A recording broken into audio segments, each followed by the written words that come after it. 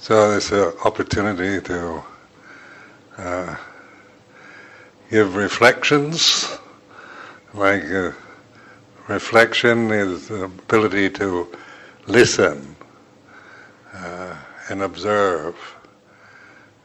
You know, so uh, humans we have this reflective mind, so we can, you know, we can watch ourselves, we can observe, and uh, and the teachings of the Buddha are not teachings to grasp, uh, uh, but to help you to reflect, open up your mind, your consciousness to being the observer, rather than somebody always trying to get something or get rid of something. And this, uh, like the the thinking mind, is about discrimination you know, so you, that's what it's for. It's to, you know, you have to think, and this is a tree, this is a microphone, this is a bhikkhu, this is a pokal, and we discriminate and and we say this is big and this is small, this is good, this is bad, and so language and the thinking process is is equipped for that function only. It's not doesn't lead you outside itself if we attach to our thinking, even if we attach to Buddha's teaching just on a thinking level, it doesn't, you know, its point is to lead you onward, not to bind you to a lot of words and a lot of ideas that you get from scriptures or teachers or whatever. So that it's uh, like awakening. And in England one time a woman asked me, How can you describe uh, the teaching of the Buddha in one sentence? And, and I said, Yeah, I can I can do it in, in one word. and what's that? And then wake up.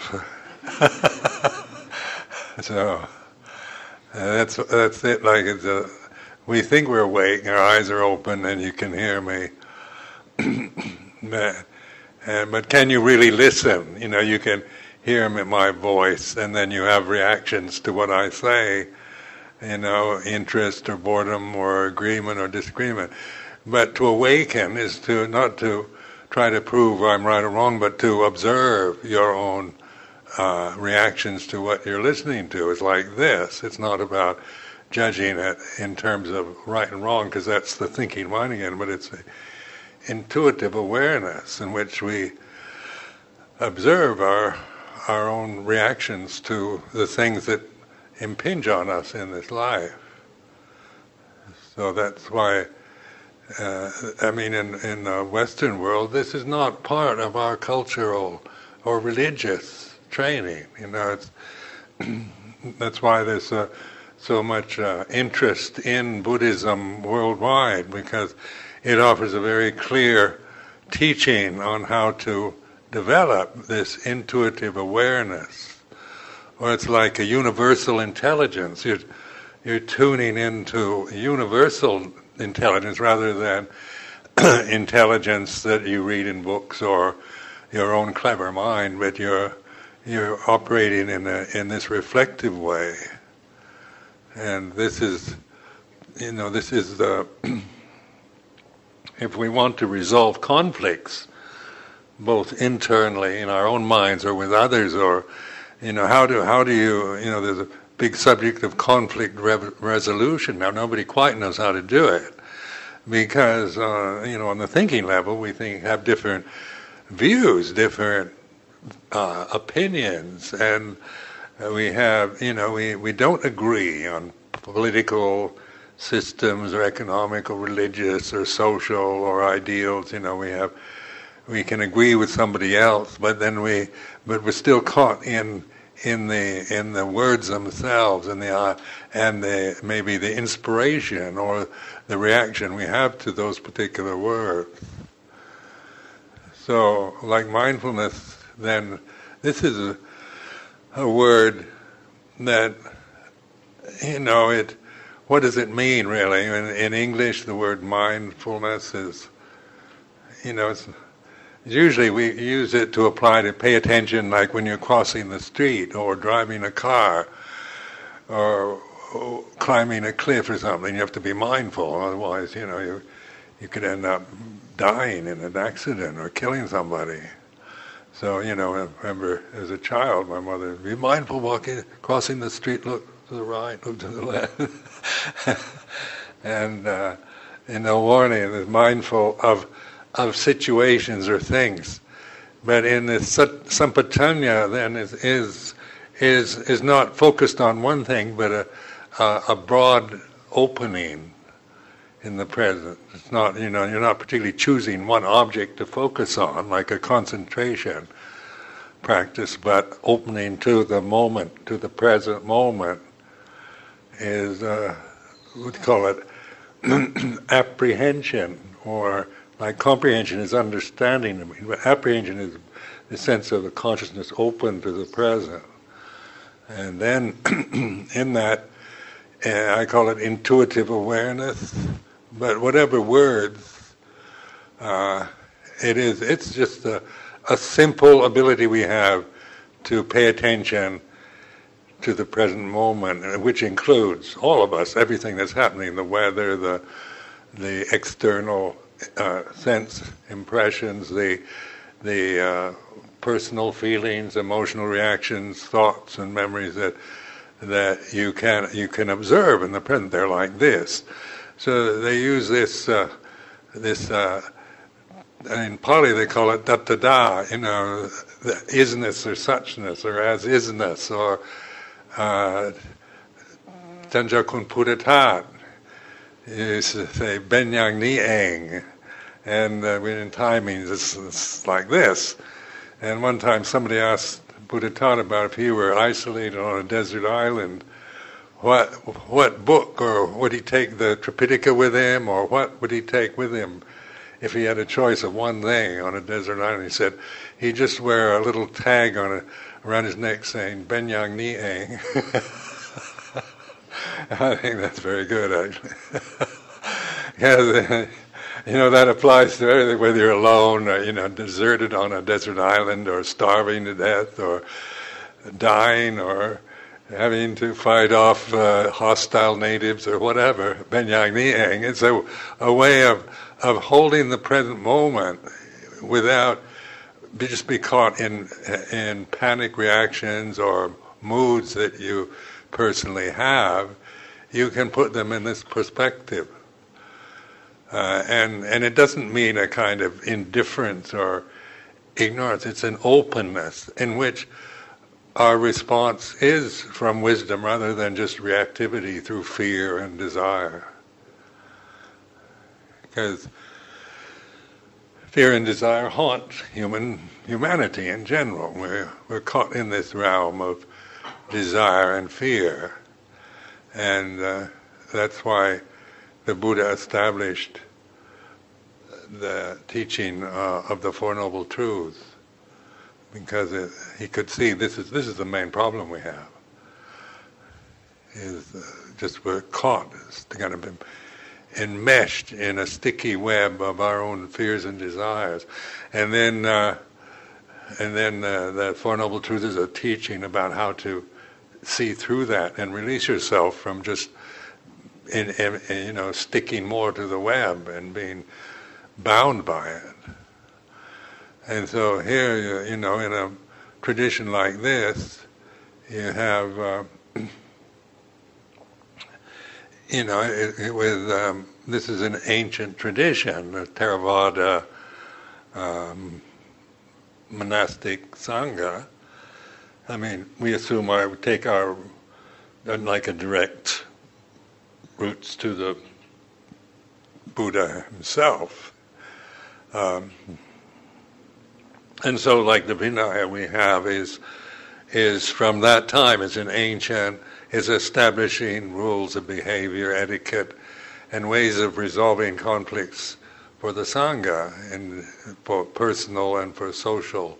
Establishes our relationship to society, to each other, uh, and and and of course living abroad for so many years many people think that the Vinaya is old-fashioned and uh, moribund and doesn't apply to the present time. because, uh, like in, in, the in the West, we, we think anything that if it's not modern and up to date, you you know you're always trying to improve on the old things, make them better, and and we have this conceit. You know, I've seen it in Britain and in America where we um, people interested in Buddhism are going to improve Buddhism, making it up to date, democratic, and, and fitting the, the ideals of of modern uh, uh, you know modern attitudes that are common now in in Western countries, affluent countries. But this is a kind of conceit, you know, that that we think. Uh, you know, the, our belief in progress is our reality. You know, the, we're, we're progressing. It's not in those times in India. You know, 2,500 years ago, that was appropriate for for people in India. You know, but it doesn't. You know, it's not appropriate for modern educated people in England. and what is this? You know, this is a a, a view and opinion uh, that people can can believe in, and every, most every Western actually agrees with this. You know, most of them, because that's how we're conditioned to think and uh, about ourselves. Like being American, you're you're conditioned to think we're progressing, we're making everything better for everybody. Like invading Iraq, we're going to free the Iraqis from Saddam Hussein. and give them American democracy as a kind of gift. You know, here you can have this, and they didn't want it, and we killed half the population in the process. But I mean, it's it's like it's a kind of conceit that that, we have. And so here in Thailand, you know, many of you come uh, living in Thai monasteries, and it's easy to to think, well, they, you know, these are just you know, traditional Thai customs, old-fashioned, and and and give it the Western uh, criticism. But is it really that way? Like a tradition, if we if we just rearrange it uh, according to modern values, it's the tradition's lost. You know, the tradition sustains itself. It's managed to survive 2,500 years without any great changes at least in the Theravada school. So that says a lot for a tradition, and it's not based on cultural values like, you know, we, we aren't worshiping Hindu gods or things like that. But you know, even though in the scriptures we talk about Brahma and Indra, and these, they're not really the message of the Buddha. You know, that's part of the cultural milieu of his time, but you notice the Four Noble Truths isn't about God or Brahma or Indra or denial of those, and it's not about denying God or or criticizing belief in those deities, but it's about suffering, its causes, the end of suffering and the way out of suffering. So that means it's it's appropriate, you know, to all of us. It transcends the cultural uh, conditioning we have and the modern times and the opinions we've formed, you know, uh, through our own education and cultural attachments. So this encouragement just to to recognize, uh, uh, you know, it took me a long time to really uh, appreciate a tradition because uh, I loved the Dhamma, I loved, uh, you know, the Dhamma's really great, but Vinaya just, you know, seems to be so complicated and fussy and and nitpicking about things and that I couldn't care less about. And so there was a, you know, a sense of just putting up with it because that's what was expected. Well, that's one reaction. But reflecting on that reaction, you know, that attitude towards Vinaya, I began to see as dukkha because it was coming from conceit. You know, it wasn't a truth, it was coming from my view, you know, my own uh, criticism and attitudes about tradition and rules and things like moral precepts and whatnot that that you know are not based on reality but are conditioned into the mind through my own life experience. So this is you can't trust that. You can't trust your own thoughts and your own beliefs or or opinions and views. So the point, you know, is to you know recognize that the the Vinaya is is here as a help. It's to, to help us be mindful, not recondition us into you know some kind of very strict meditator. You know, not to reinforce the sakkaya or the ego. It's it's a, a way of living in which, uh, if we use it properly with mindfulness and wisdom, then it, it helps to us to see through our own ditthis, our own views and opinions, our own reactions to things, to restraint or to, uh, you know, living in Thailand, different culture, different attitudes, different ways of doing things.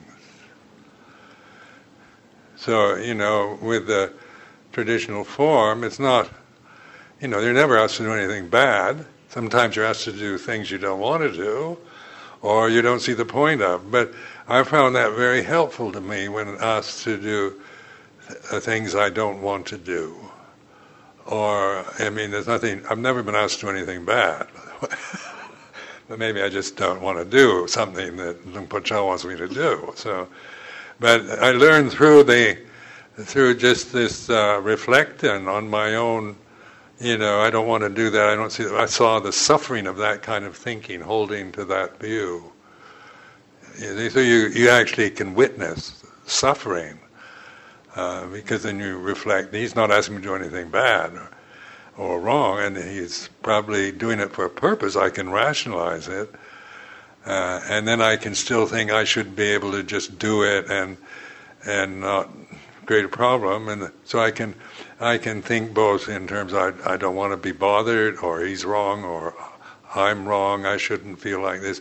But the, the reflective awareness of wisdom is is observing that, listening to it, to your own discontent or or uh, view that you might believe in or that you're grasping. And through that, then eventually you just learn, you know, so you, you're making your life easy. You're just doing it this way, and it's a, it's a way that we can live together, you know, without creating conflict, endless conflicts and negotiating our own position within the structure. The structure is fixed. It's it's immutable. It, it well, you know, we just fit into our position in the structure, and and work from there. And then, uh, and then you know, as time goes by, you you uh, you go to different levels of seniority and so forth, and we adapt to those kind of uh, situations. But it's not for trying to become uh, senior or you know just uh, or feeling that being junior is somehow being inferior to to seniority. Those are those are kind of uh, spurious ways of thinking about structure. It's merely conventional. It's impersonal. It's not about who's the best monk or who's the most attained. It's merely a, a convenient structure based on seniority of who ordained first and and it, so that helps us. It's a great benefit when you really tune into it because so much of life, you know, you're brought up in a society uh, like an egalitarian ideal of like the United States, the ideals of equality and freedom and self-expression, self-assertion, and uh, and and so our cultural uh, habits form from these kind of perceptions but you never feel you know where you belong. It's a competitive society. It's always about who can run the fastest, who's a winner, who's a loser. So you know, even though we're all equal, some are winners and some are losers. and where can a winner and a loser be equal? And then if you see yourself as a loser, then you feel you're not any good. You're not like you know you've failed because you're not the winner. And the, the self is is made on these perceptions. You know, it's created out of who's who's who can do the, who's the best, who can uh, who's the best mind, who's the best uh, uh runner, the football champion, the uh, the film star or the jazz musician or whatever. You know, it's about becoming, being celebrity, being famous, who has the most money.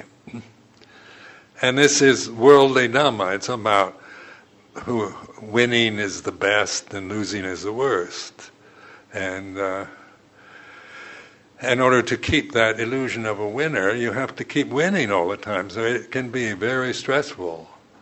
You know, because if you start losing, then you know you've you've been so attached to winning that you you can go in depression and commit suicide because you you lost something.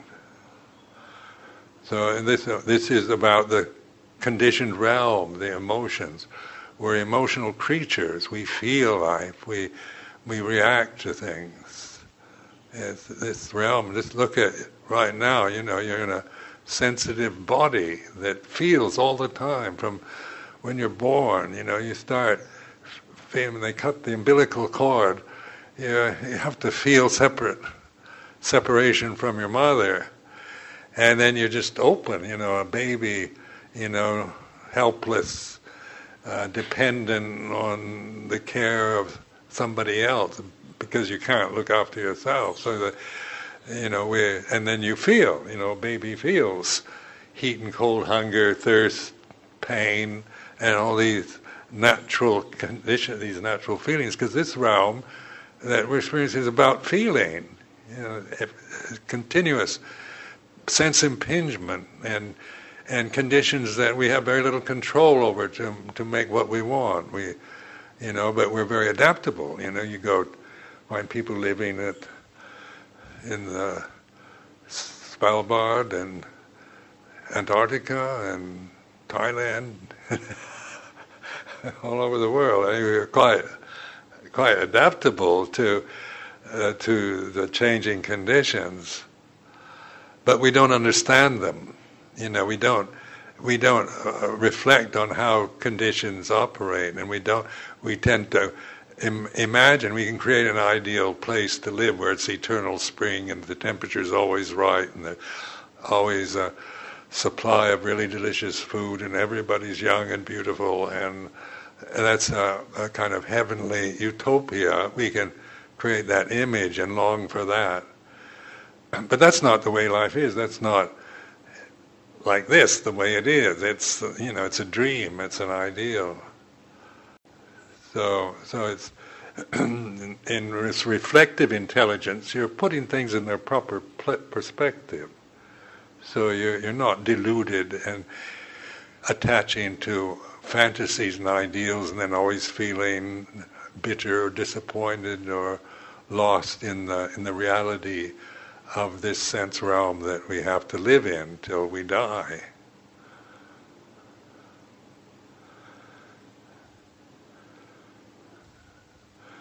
So, and also, uh, you know, monastic life, it can be, you know, training and and it, and it can be onerous if we make it so, you know, like we how we react to discipline or structure. Vinaya, we can make it a form of suffering and, and just put up with it, grin and bear it attitude. But also recognize how to use the Vinaya for mindfulness, you know, because we have to submit ourselves to uh, a structure that we didn't create and we, we're not supposed to change, you know. We, we just learn to do it this way. And, the, and uh, somebody, you know, trained in, you know, cult, acculturated in a, uh, you know, be free to do what you want attitude, uh, feels oppressed by the restrictions and the limitations of the Vinaya. and I did uh, for a long time. I remember early years at Wat Pah I felt I was being suffocated, you know, with all these rules. And and I was the first uh, Western monk there, so everybody was on my back, you know. I couldn't walk right, and I couldn't. Everything I did was too much or not right. And and you know, I'm from the, uh, the background where you, you know you don't take that from people. You know, I'm shut up and I can do it the way I want kind of attitude. But in in uh, the training, because I had a lot of faith with Luang Por Chah, I was I just watched my own resistance to the structure, aversion, and it, my impatience with this, with it, and my ditthis, my own views about it, and criticisms. And through that, then you can release, you're letting go of that tendency to believe your own mind and and cling to views you might form around Thai Buddhism or Vinaya or different teachers or whatever. So what it does, you know, somebody asked last evening about, uh, you know, you get instructions on practice. So you have to get first jhana before you can do vipassana. You have to develop uh, this before you can do that. And so, uh, you know, I've been through that in the early years. Uh, I mean, in, when I was a layman in Bangkok, before ordaining, uh, expatriate Buddhists in Bangkok at the time were so opinionated. Everybody had their own view. You know, you go to somebody and say only Buddha taught. That's the only. That's a real Zen teacher. He's got the. He's the enlightened master. And then you go to Wat Bawar and they say no. Ajahn Maha Bua was the only enlightened master. And then and you've got to. and and then you you're hearing all this and you got I went to study Abhidharma with Ajahn Sujin, and it's you have to know the Abhidharma, and and I just I just became totally confused because I didn't know, and everybody spoke from this kind of peremptory style. This is the only way. Before you know, this is right, and anybody says different is wrong. Then different methods. You know, the Yup Pongnor Pong Mahasi Sayadaw method some people said this is the way to do it, and others said no, don't do it that way. And then uh, some of the methods, and there was some arahant style of meditating, and it goes on and on. So you, you know, in the Buddhist world, even in Thailand, you're presented with a lot of various opinions and views about practice, about Dhamma, about Vinaya. Now, eh, with mindfulness, then we can observe how those opinions affect us. You know, this you can know, you know, whether you have to get first jhana before you can do um, vipassana. Uh, you may not know that, you know, you just uh, listen to what somebody tells you, but you can observe your reaction to it. So, what does that do when somebody says, you know, you're meditating all wrong, you have to get first jhana? First. And what is what happens? You know, you can observe you feeling of confusion or belief is like this. You know, you at least you can know this for sure that what you're feeling at this moment is like this. This is because that that that's you know that you can know for sure because you're observing. Whether you have to get first jhana before you do anything else is you don't know, you're, not sure. And that unsurety is also present. You can be aware of not knowing, of un, being uncertain. Or because somebody uh, very high up in the Sangha, Kruba Ajahn and so forth, says this, then it has to be right. You can observe your own way of holding uh, teachings from others as is like this, whether you believe, believe, agree, or doubt, or confused. Then you observe that those kind of emotional reactions.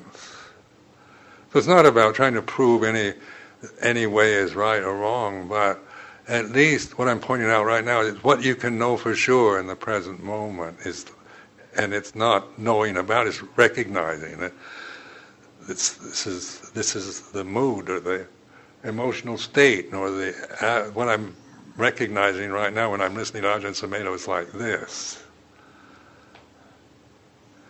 And maybe you don't, you have no name for that. You know, with emotions, they they fluctuate, they change, they have levels of intensity and laxity and that, and so, so we, we don't have words to describe all the different uh, the emotional changes we're feeling.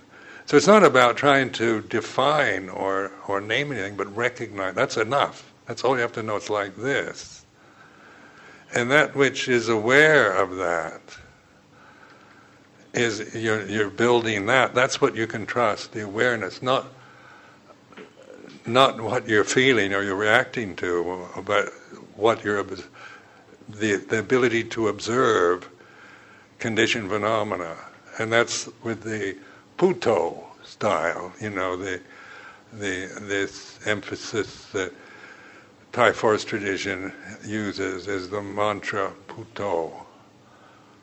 and and when I first started meditating, I I, uh, my, I was such a uh, intense thinker, uh, rabidly kind of think, think, think, and and uh, I, I, was taught. You know, I first started at Wat Mahathat with uh, uh, Chodok, who's famous then. He just established a Thai monastery in London at the time, so and and he taught this yupno rising, falling of the abdomen. And uh, I could, I found that very helpful as a beginning, you know. But then I found that I tended to grasp the instructions, and then, uh, and then I had, and then they, oftentimes they say, "This is a really good meditator." And when I went to when I ordained as a samanera, I went to Wat Nön Pana in Nong Khai, spent the Pansa. And there was one other monk, Thai monk, who lived across from my kuti, you know, who they said, is this is really good. He does this, every movement is, you know, so perfectly, everything moves slowly and and you just watch him eat his meal and and so I tried to do that, you know.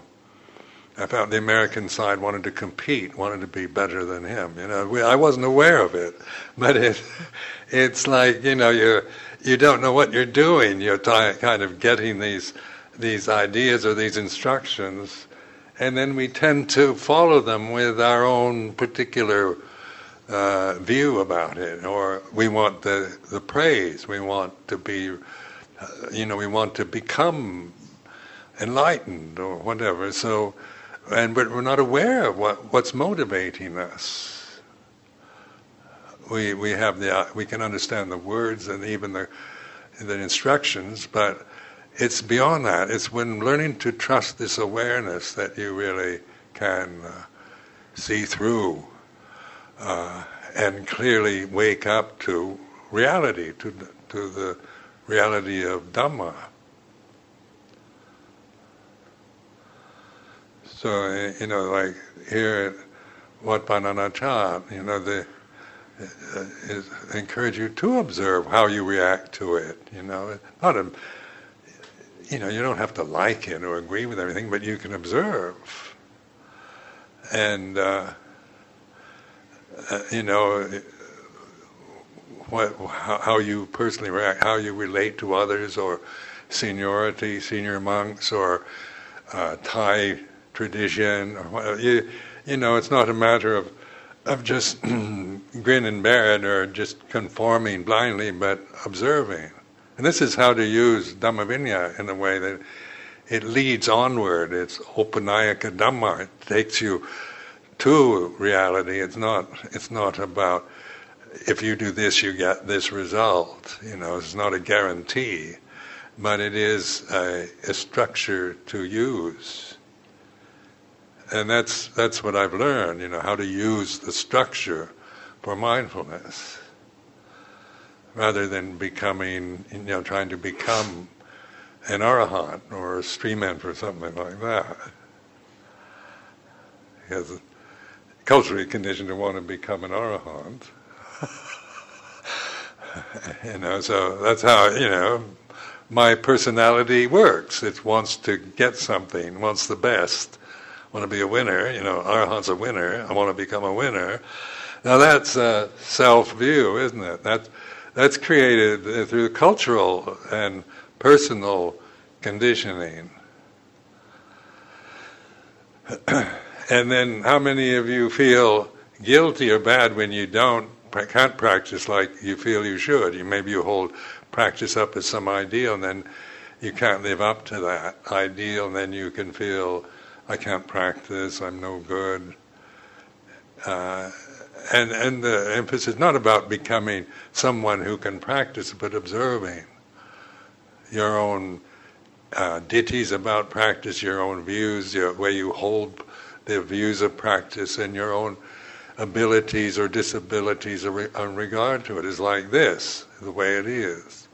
Because this uh, level isn't isn't uh, it isn't discriminating. It's not saying one thing is better than it's discerning. And and so when you discern, it means you're intuitively awake to reality. Discernment is like you're discerning right now, just visually, you know, form and space. Because there's space and then there's forms in the space. This is. I'm not saying space is better than form or form is better than space. Not a matter of which is the best. It's like this. You know, to observe space with the eyes, uh, you just have to open your eyes and recognize, withdraw your interest and attention to the forms, and the, this is all around us, all the time. Wherever you are, there's space.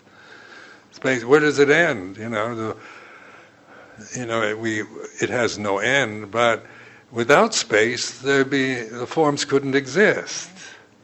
You see, so you know, if this was just solid cement building, be useless because we, you know, we couldn't get in. But because there's a lot of space, we, we yeah, and and then but we might be, you know, life is more interested in the picture, the clock, the people, the furniture, the color of the walls, and so forth.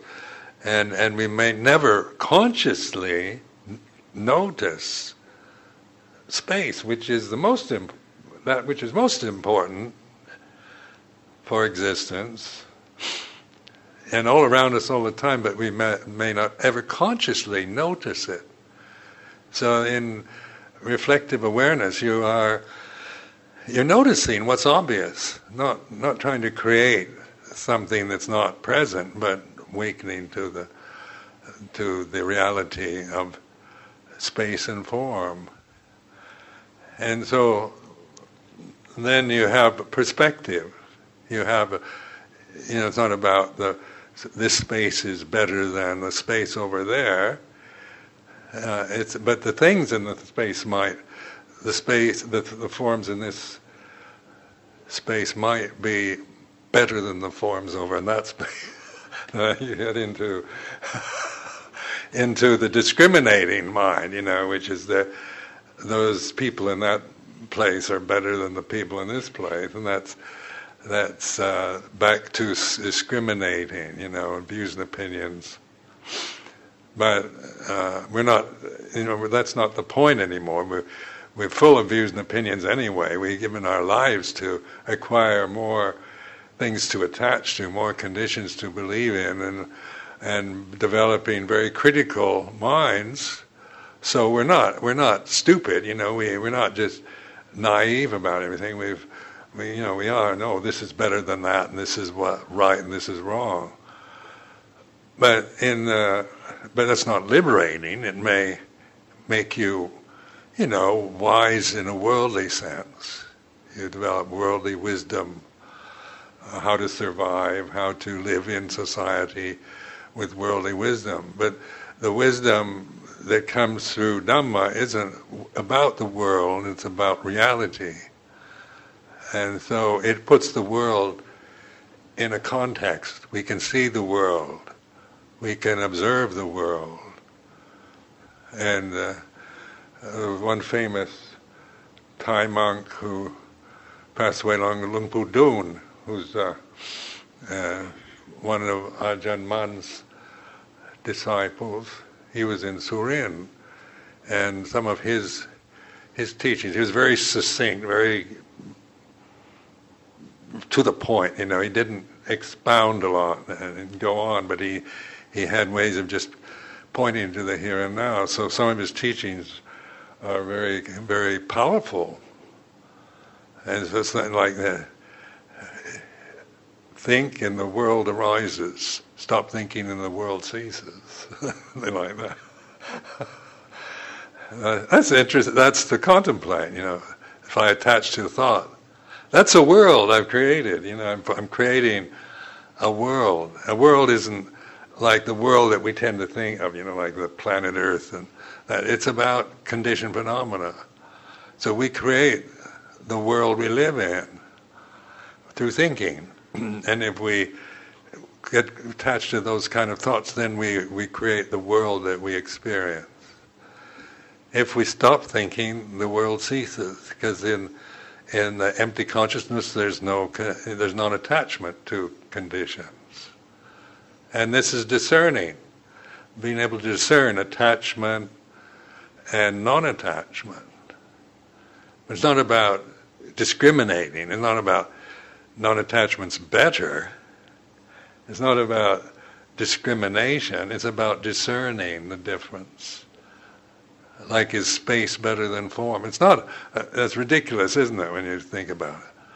But uh, so it's not. It's discerning with with eye consciousness. This is the way it is. So right now, just accepting this moment, the space, the conditions, external that I see.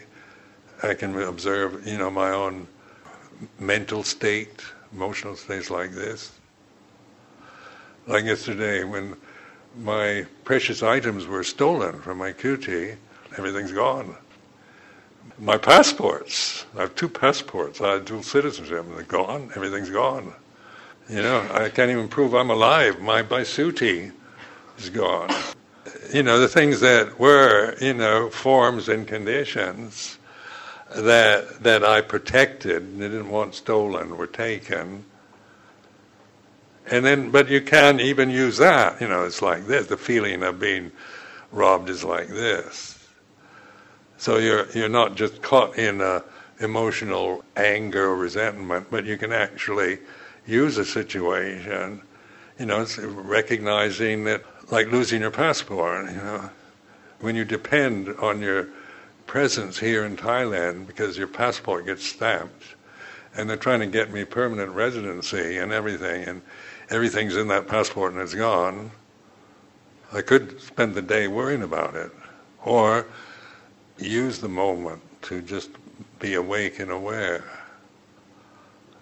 So then the response to such a situation is appropriate. You know, you inform the police and you make arrangements to get a new passport and so forth. But it's not not just reactive panic from some unpleasant experience. So this awareness gives us that kind of ability to respond, not just react to life itself. Otherwise, we're merely helpless victims of reactions. You know, we're conditioned to to to react to experience and we're happy or sad or what we like, what we don't like. But with this, this intuitive awareness then puts us in relationship to liking, disliking. It's discerning. It's not discriminating. Attachment, non-attachment. You really have to accept, you know, study attachment first. So hold on to things, but mindfully, and then let go of them. and so it's like, you know, you discern the difference. And then attachment through ignorance, not through awakening. So when you're, you're when the avijja, the ignorance isn't there, then attachment to things is merely functional. You know, it's what you do. You know, you have to contact the embassies and so forth. That's that's not from kilesa. It's just a functional use of uh, of this society and doing what you have to do to to um, you know get by, survive in, in this in this country.